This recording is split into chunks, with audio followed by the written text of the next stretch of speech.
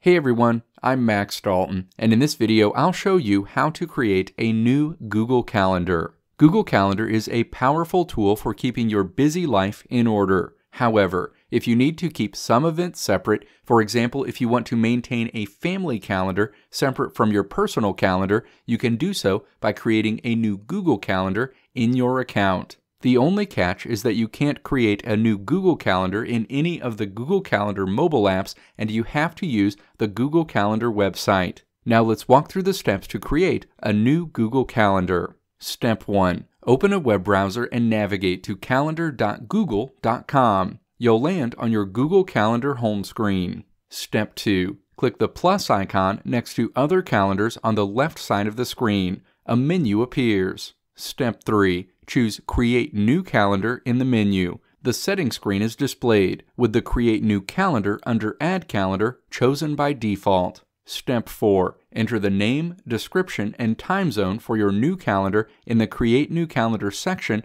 on the right side of the screen.